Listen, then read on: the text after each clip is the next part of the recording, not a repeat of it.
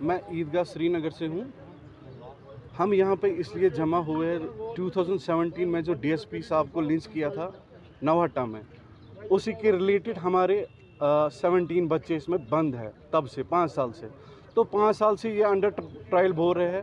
लेकिन ट्रायल हमारी स्मूथ नहीं जा रही है। इसमें इन्होंने रखा था 84 विटनेसेस आउट ऑफ़ 84 19 इसमें प्रोटेक्टेड वो थे विटनेस थे, हमने वो किए। उसके बावजूद भी उन्होंने जो कहा, जैसा आपके सामने कहा, हमने किसी को नहीं देखा, हमें कुछ नहीं पता है।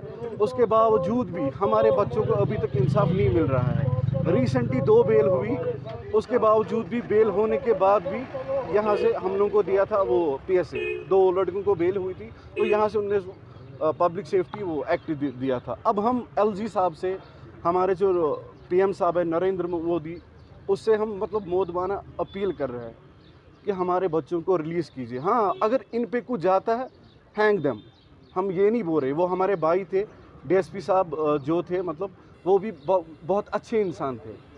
अनफॉर्चुनेट हो गया है लेकिन हमारे बच्चों ने कुछ नहीं किया मेहरबानी और मेहरबानी करके हमारे बच्चों को रिलीज़ कीजिए। अगर उन पर कुछ जाता है तो हैंग दम बस हमारी यही रिक्वेस्ट है। शुक्रिया। चुनाव